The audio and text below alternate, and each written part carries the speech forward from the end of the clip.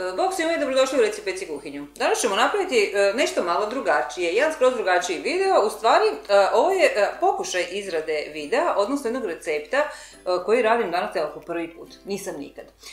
I htjela sam vam pokazati kako to izgleda kad ja radim neki kolač po prvi put, kad ga nisam isprobala i kad stvarno nemam pojma kako će ispasti. Pa evo, bit ćete i vi dijelom toga. Ja sam danas odlučila raditi jedan kolač koji sam našla na jednom američkom blogu. U stvari našla sam sličan kolač na više američkih blogova. I u biti radi se o kolaču koji je pa nešto kao neki bombon. U biti njima je taj naziv butter toffee. E, ovako bi vam to nekako trebalo ispasti. Znači, pun lim e, čokolade, badema, e, sve to zaliveno sa nekakvim preljevom od tofi preljevom, a taj tofi bi se navodno trebao dobiti od maslaca, od šećera i od malo vode. Uh, vidjet ćemo da kako će ispasti, meni zvuči super, znači svi sastojci koje volim, ja mislim da bi to trebalo biti ok. Uh, piše ovako, uh, prije svega treba se, treba se staviti kuhati taj tofi, znači maslac, šećer i voda, a nakon toga morat ćemo isjeckati čokoladu, morat ćemo isjeckati bademe. Samo malo, e, nije. Prije svega piše da treba iz, ove bademe isostirati. Idemo ih isostirati. Znači, dobro, znači piše da treba isostirati bademe. E, ja ću sada uključiti pečnicu e, na funkciju ventilatora samo sa gro, gronjim, gornjim grijačem. Pa aj nek se ona zagrije na što više, recimo na ajde, nekakvih 220 stupnjeva. E, dobro. I, i, i šta nam treba? Treba nam papir za pečenje na koji ću ja sad lijepo staviti te bademe.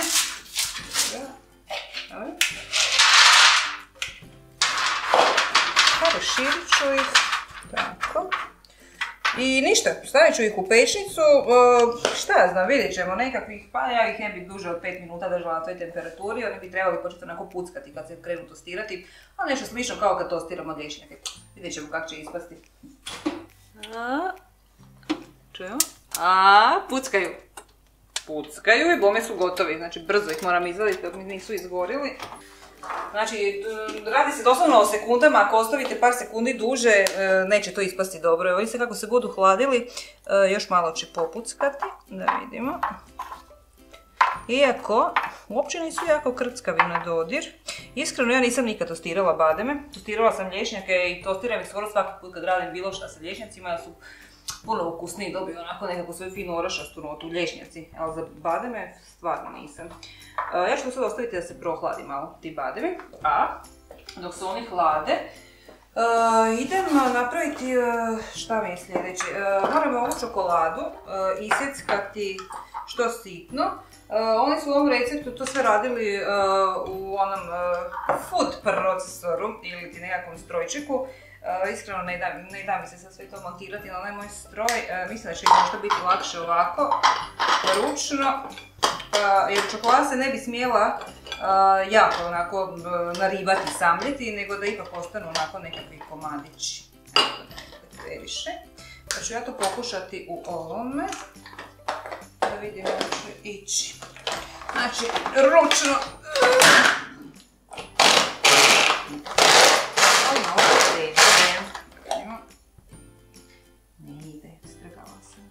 Znači, moramo e, čokoladu i tostirane bademe isjeckati, ali ne smiju biti isjeckani presitno.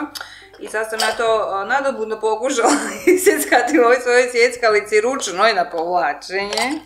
Strgala sam je. Da, otišao mehanizam. Baš mi je žao jer mi je ovo bilo odlično. Za luk, za mrkvu i sve to. Ti mi je bila pamet da čokoladu stavim unutra. Radi. Aha, doli se na vrhu. Dobro, ništa od toga, moramo, moramo napraviti kolač. Idemo onda ovo samljeti. A, ne da mi se to ručno raditi, evo ne da mi se a, sjeckati sa nožem tu čokoladu. Idem ja sad to probati samljeti na ovaj svoj strojček, a imam ovu jednu što ima ovako malo veće rukice. Pa bi to trebalo biti ok. Na ovo sam definitivno već ribala i čokoladu i orašaste i nije se strgalo, znači provjereno je. Tako da mislim da je ovo jedina stvar e, koju ću danas. Dobro. Tako. E, s obzirom da će se to sve skupa po, pomješavati, jel te? Idem ja i e, bademe odmah staviti unutra da vidim. E, se čak i nakon hlađenja ova kožica njihova nije maknula, znači uopće ne ide dolje kao sa lješnjaka. Pa ćemo to ignorirati.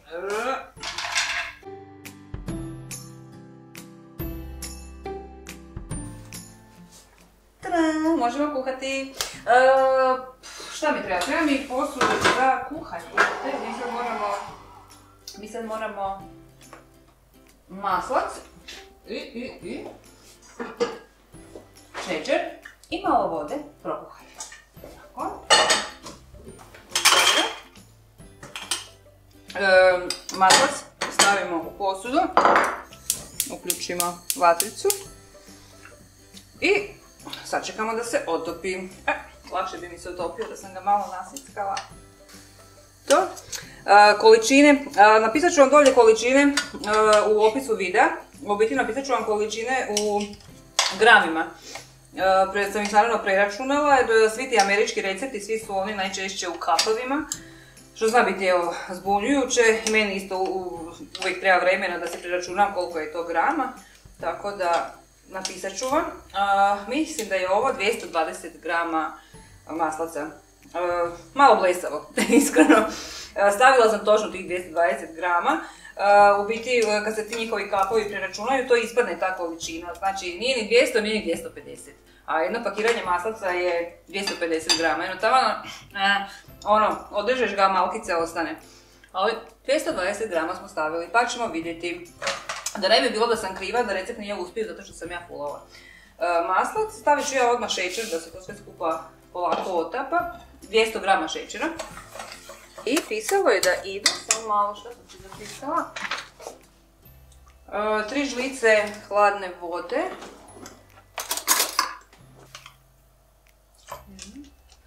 Nije mi jasno zašto hladne vode, mislim i onako će se to sve zagrijavati, nemam pojma, evo stavili smo tako kako je pisalo u receptu pa ćemo vidjeti. E, otopiti. Dobro. Ovak. E, ono što će još trebati za ovaj recept, barem po onome što ovdje piše, je e, jedan termometar. Oni to čak zovu candy termometar. Ja nemam candy termometar, imam običan termometar koji koristim za, za, za takve stvačice, znači za hranu. S njim se može provjeriti temperatura pečenke, neke ako je pečenka debela, ali nije sve jedno na koju temperaturu se recimo ispekla ono ogromna purica. Znači ovako, potrebno je ovo zagrijavati uz povremeno miješanje tako dugo dok termometar koji se uroni unutra ne dođe do 140 stupnjeva Celzijusevih. Pa ajde da vidimo. O, evo nas na stotki. Prošli smo stotku. 102. Ovo je fora gledati, ako ništa drugo.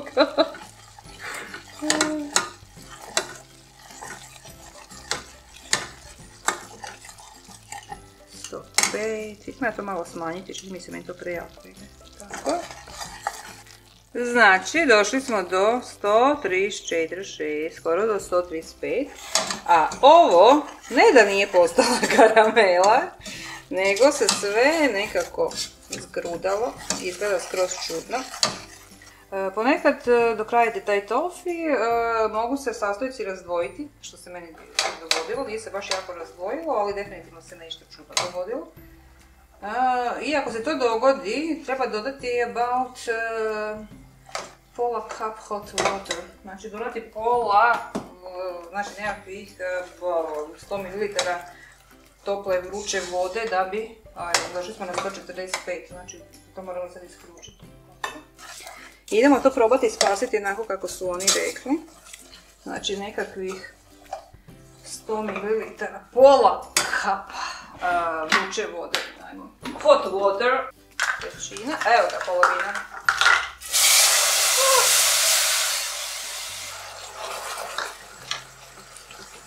Treba mi upaliti vatricu.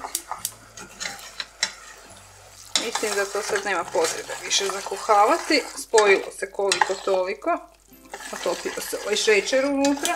Nije baš onako najglađe kako sam mislila da će biti, ali pa da će ispasti ok. Evo, još, još zagrijavam ovako na samo na vrućini ove posude, s obzirom da mi je posuda sa duplim dnom, pa sam isključila vatru da se ne bi sad dogodila tu neka eksplozija šutna.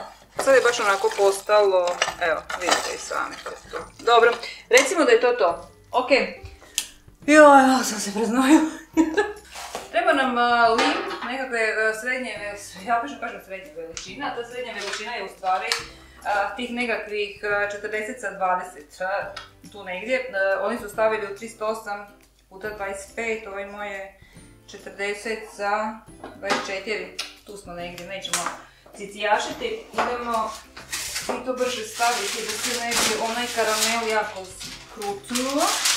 također u tom receptu piše da se samo izlije u lim, ali ja mislim da to nema šanse da bi mogla izvaditi kad bi izlila samo na lim, kad se to sve skupa stisne.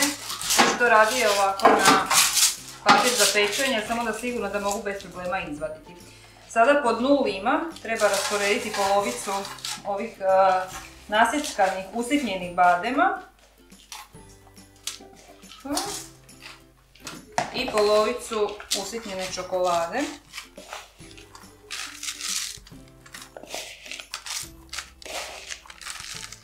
E, koristi se mliječna čokolada. E, baš su onako bili specifični u ovom receptu da ni slučajno ne smije ići čokolada za kuhanje tamna, nego mliječna, jer to inače nije to. Tako da, e, evo ja sam stavila mliječnu, pa vidjet ćemo kako će ispasti. I sada, čim smo ovo ovako stavili, trebamo preko toga izlisti ovaj karamel. O, evo lijepo se sad je utopilo dok je stajalo. Znači, preko svega. Ovako.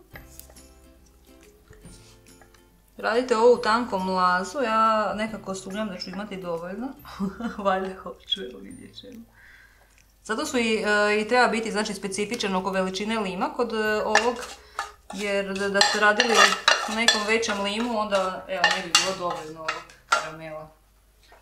So. Malo mi ovdje fali, ja ću to pokušati rasporediti ovako. I sada će se očito pod utjecajem e, ovog vrelog karamela, ova čokolada koju smo dolje stavili otopiti ovi blanširani bademi će ostati onako zarobljeni u tome. Sada, preko svega rasporediti ostatak ovih badema i čokolade. Znači dok je još uvijek to sve skupa ovako toplo, da se ulovi badem i čokolada. E, ove grude, to je ona moja rastopljena čokolada sa početka priče. to je to. Ništa. E, u nekim receptima čak piše da se treba to sad malo stisnuti, ali iskreno ja ne znam što bi ja to stisnula sad, jer ako su mi ruke ljepljive, valjda će ostati zaljepljeno, vidjet ćemo. E, I to je to što se tiče izrade kolača. E, u bombovanu nazovite kako hoćete. Idemo sačekati da se to ohladi. To bi se sad trebalo stisnuti i onda lijepo onako izlomiti rukama. Vidjet ćemo da li su bili pravo. Za to vrijeme idem se dovesti u nekom pristojno stanje, idem popiti kavicu pa napraviti to i vi vidimo se. Tadam! Ovo se stisnulo. E, moram priznati da bila sam jako nestrpljiva, nisam e, imala vremena sam čekati da se to prirodnim putem rasladi, e, pa sam ja to stavila malo zamrzivač, nekakvih desetak minuta, tako. To je bilo dovoljno da se ovo da brzake stisne, doista se stisnulo, to me je najviše prinulo, moram priznati kako će to na kraju ispasti. idemo vidjeti je ispalo. Znači da bi ga lakše uopće izlomila, pisalo je u receptu da to treba izlomiti na komade. Evo ga. Izvadim iz ovoga, da vidimo. Šta se tu dogodilo? A, lijepi komad. E, također je pisalo u ovom receptu da se osa kad se ovako stisne se lijepo izlomi na komade i e, to je to. Ajmo probati izlomiti. Evo. Fakat se da lijepo trgati. I razvlači se ova karamela. Ajme ovo predobro miriši, samo što meni je to žao ovako natrgati. Ja mislim da ću ja to ipak lijepo sa nožem onako nasjeći na nekakve, šta znam, kvadratne oblike. Da, karamela unutra. Znači, nevjerovatno. Bila sam jako skeptična, moram priznati, iako mi je recept stvarno super zvučao na prvu. A da vidimo. Mmm. Odlično je.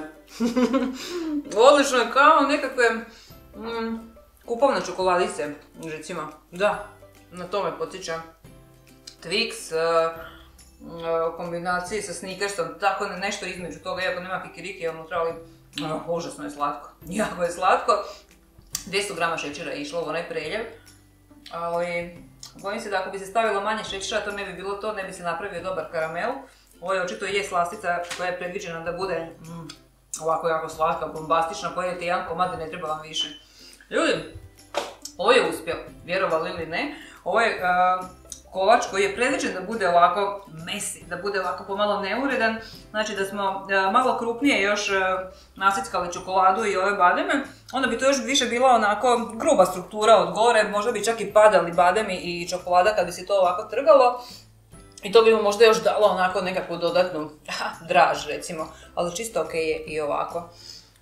Recept je uspio. Ja ću ga sad lijepo napisati, objaviti. Kako sam rekla, sve sastojke dolje u opisu ovog videa ću vam lijepo napisati. Probajte napraviti i recite mi da li vam se svidjelo, naravno.